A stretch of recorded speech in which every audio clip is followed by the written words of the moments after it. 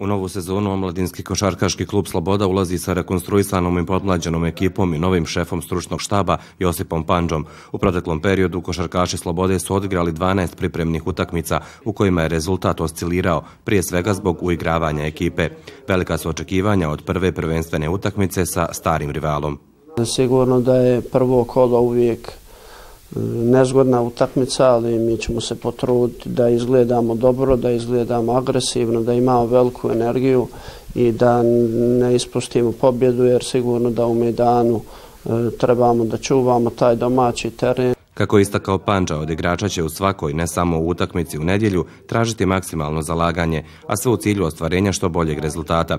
Veliku šansu uz pojačanja Božovića, Mirkovića, Jovanovića, Naletilića i Hrnčića, novi trener će priliku pružiti i mladim igračima. Jedan od njih je Jasmin Jakupović, koji je član Slobode od devete godine. Želim da pozovem sve e, navijače i ljubitelje košarke da, nas, da nam se pridruži i da budu naš šest igrača.